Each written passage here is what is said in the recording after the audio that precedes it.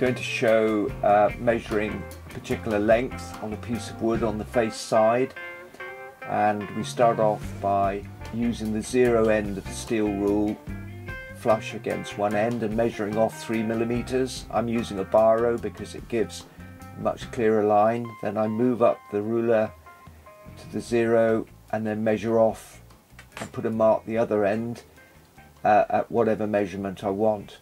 Now using a try-square, in this case I'm using a combination square. I square that line keeping the stock of the try-square against the face edge. So you can see I've moved the wood round so that uh, because I'm left-handed uh, so that I'm always drawing on the left. And uh, you know take your time doing this. Accuracy is really important. You see I'm moving the stock around the other side now joining up those lines. And the biro gives a really clean precise line whereas a pencil blunts as you draw.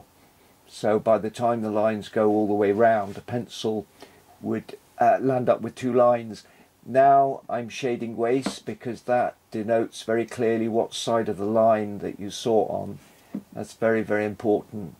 And I do it diagonally it just clarifies the line so much more So the next thing is to put the piece of wood in the vise and I'm using a tenon saw. Notice how I guide the first cut with my thumb. It's that very first cut that's actually quite difficult to start, start that motion going try and use quite a length of the blade and don't race it and here I'm using both hands to get a lot more control over that uh, you won't find this method in the textbooks but it is a lot clearer I'm using a bench hook now to finish off the cut because obviously I can only go so far in the vise.